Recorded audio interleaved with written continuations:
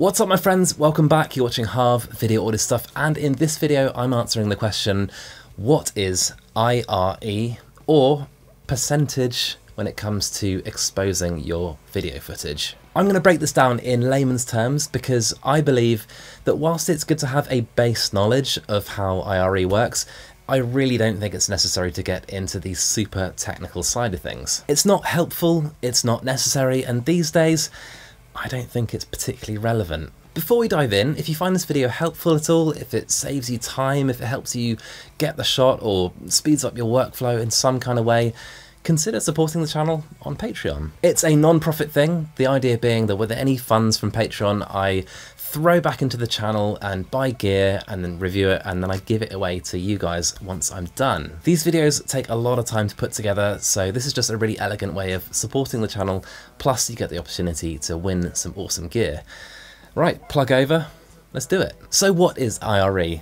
It's amazing how often I get this question and it usually comes from a place of just not knowing that your luma values, aka your exposure, can be represented with a percentage. In a lot of my videos where I'm explaining exposure, I talk about percentages, and then I get a lot of questions about that, and that's on me, because I shouldn't assume that this stuff is well known. So let's start off with what IRE stands for, and it's an abbreviation and stands for Institute of Radio Engineers, and these guys were responsible for setting up the technical side of television back in the day. And honestly, it's not an abbreviation you really need to remember because these days it's perfectly acceptable to use percentage in its place. They're interchangeable. Technically speaking, IRE isn't exactly the same as percentage, but practically speaking, they are the same. There are some IRE sticklers out there, guys that know that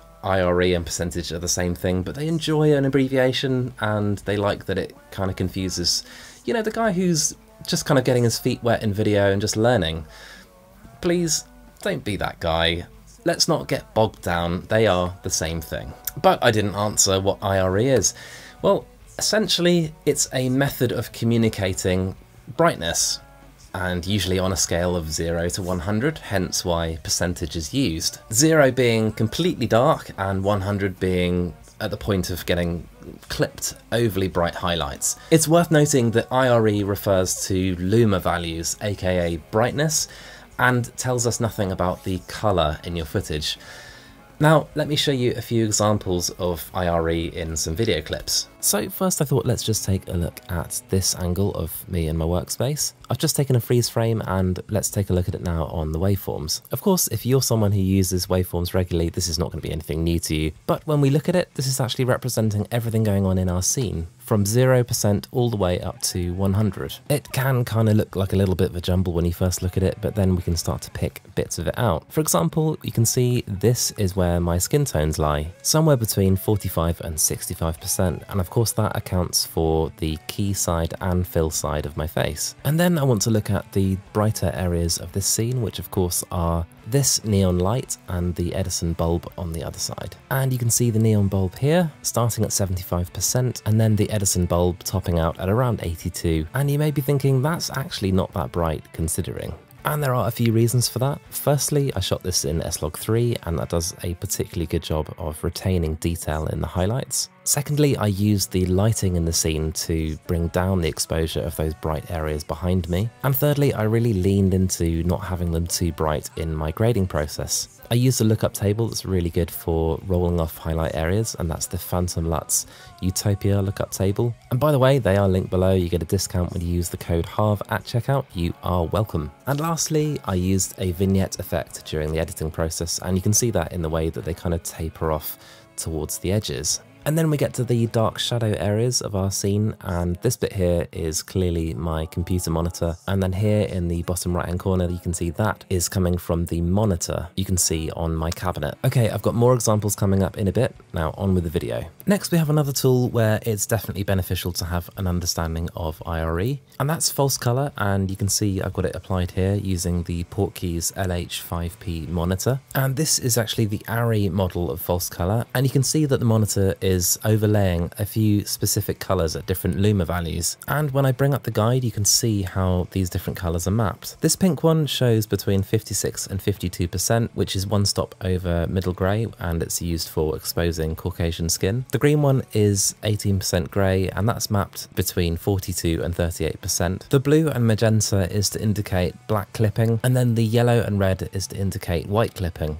So in theory, false color is an incredibly useful tool where we can prevent highlights being clipped, we can expose skin tones, we can just expose to middle grey if we want to. It's really cool and I feel like this may be deserving of a separate video. Let me know in the comments if you'd like to see that. At this point, I'm sure some of you are thinking, hang on, some of the gammas out there shoot higher than 100%. And yep, absolutely right.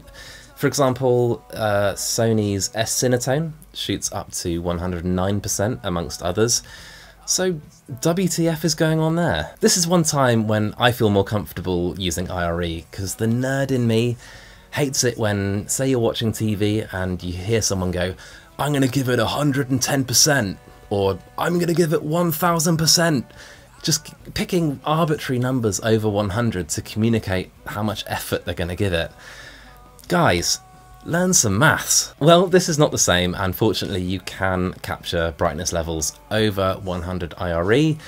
It just gives you just a touch more latitude above 100% just for those highlight areas. Anyway, with all of this in mind, how is this useful? How can you apply it to your workflow? Let me show you some examples. So most cameras have the ability to show zebras as an exposure tool, and it can be incredibly helpful and reliable method of exposing your footage. Take this shot for example, I exposed the brighter side of my face at around 60% and I've used the zebra function to let me know when I've hit that point. You could also use zebras to protect your highlights from being clipped by setting them to 100% or whatever your gamma's output is. And we can also use waveforms to judge different elements of your exposure. In this shot you can see I've made sure the skin tones are somewhere between 45 and 65% depending on the skin tone. The highlight areas aren't blown and the shadows are looking good and not noisy whatsoever. If you want to learn more about this kind of thing, I recently did videos about how unreliable the exposure meter is on the back of Sony cameras, and I did a guide for zebras in all of the different filming modes, and of course, they're linked below. Anyway, now it's time to take everything we've learned in this video, grind it up, and make a delicious espresso of tips to take away with you. IRE stands for Institute of Radio Engineers, but don't worry about remembering that. Day to day, it's not that helpful to know. IRE is the same as percentage. You can refer to points of luminance using either. They're both correct. In terms of what they are, IRE and percentage are a way of communicating brightness levels of your footage. It's useful knowledge for exposing skin tones, not blowing out highlights, keeping shadows clean and that kind of thing. To apply this knowledge to your workflow, you can use things like zebras, waveforms and false colour. Anyway, that's it for now. I hope you found this video interesting and helpful. I want to hear from you. If you have any pearls of wisdom regarding zebras or IRE or how to expose things, definitely share them in the comment section below. After all, this channel has always been about learning and sharing. I've now made hundreds of videos about videography and audio on this channel, of which YouTube has picked this video for you to watch next, and the one below is my most recent upload. Until next time, let's help each other out and shoot better video. See you guys. Leave it to you to give me another choice While the buildings crumble, humble am I by the way you embrace And when I find you sinking out of sight